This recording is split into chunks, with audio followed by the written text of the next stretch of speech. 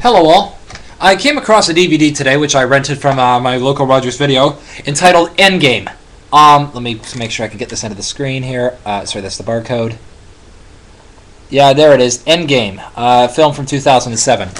Uh, in it, Alex Jones, a reporter from the United States, um, goes on to explain uh, about how um, a group called the Bilderberg Group uh, uh, some of the top tw- 200 or so powerful elite of the world. You know, the banking, the uh, the U.S. government, and the le- well, um, certain elements of the U.S. government, uh, various top politicians. Uh, um, Stephen Harper, even in my own country, apparently, have all uh, either addressed this group or spoken with or been at meetings of this group. Um, basically, a top 12, uh, 20 powerful elite.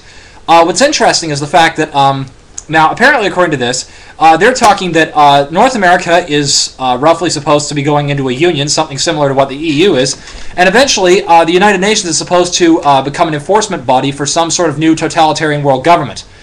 Now, I must admit that does seem a little uh, strong, strong-handed. But in, in, light of what I said in my previous videos about possible elites in the United States like Halliburton trying to take over and stuff like that, it wouldn't be too far-fetched the only problem, which is, uh, again, this is I'm going to say this is entirely a film review. The one bit which they got wrong, I think, in this was the uh, bit pertaining to global warming. Um, they talked about carbon tax and they said the biodiversity that, that uh, they just released the global biodiversity assessment in 2005 just to uh, as a part of a conspiracy to get people to revert to a feudal society. Um, I'd like to speak on the scientific points as the main parts of this issue. Uh, this is for anybody who ever watches this movie. Um, and again, this is more so again towards skeptics' arguments pertaining to global warming. I've heard these before. Um, the idea that uh, that the UN is just trying to create some, uh, you know, part of a conspiracy, get pay scientists to say anything to uh, create some sort of carbon tax on the public. I'd like to uh, register a couple of things here. The only, okay, a couple of things. Number one of which is that the bulk of the peer-reviewed literature not counting what the uh, the, the IC, IPCC has been saying, the NASA Goddard Space Center, and uh, you know basically all the peer actual peer review literature has stated that this is accurate.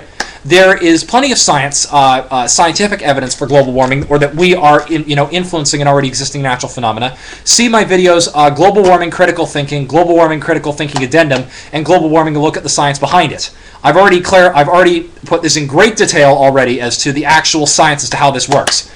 Now, that being aside, um, the thing, of course, is though is that maybe there is a conspiracy theory, but um, it could be possible as well that they're equally also short-termed.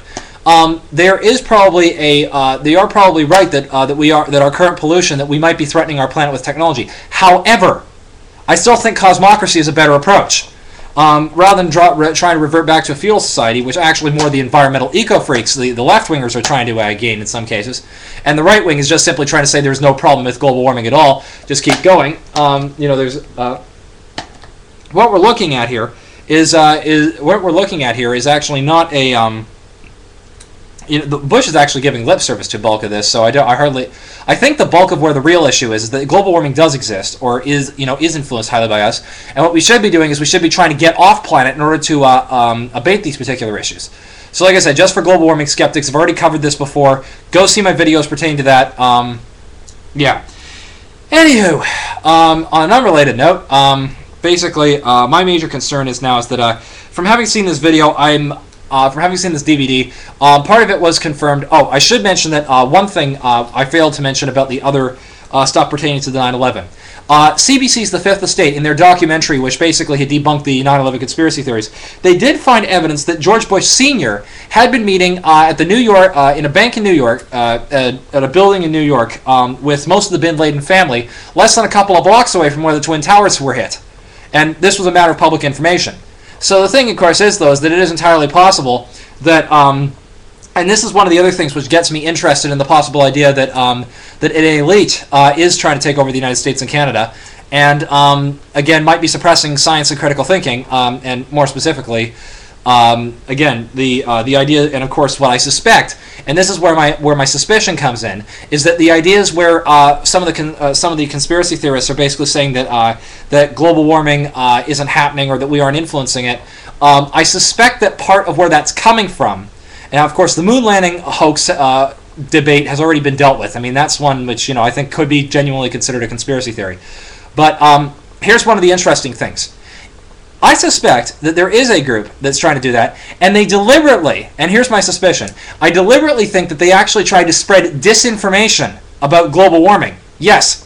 That not only did they uh, were the conservative corporations on the one hand trying to debunk the whole thing, they also gave that as part of the thing to the conspiracy theorists, uh, to or to those who are who are uncovering their um, their act to um, allow for people to try to continue with their cars. This way, uh, if people go like, "Nah, that'll never happen," or even if they are trying to fight the uh, the global system, they'll still continue powering their cars. This way, if the uh, this way, regardless, the elite will end up destroying the environment, saying, "Well, if we can't have the planet, nobody else can." It's called their fail-safe measure. Anyway, that's just my speculation on all this. Um, but you know, either way, I've already dealt with the hard science on some of these issues before in my other videos. Um, like I said, that whole thing on the Great Global Warming swindle. Um, like I said, I've already debunked this before. anyway, I digress. Um, again, I hope that people have left some comments on my other videos, uh, particularly ones pertaining to modern morality, that sort of thing, yada yada yada. Um, yeah, so that pretty much deals with that. And um, keep watching the videos, keep replying. I'll uh, talk to you guys soon. Toodles!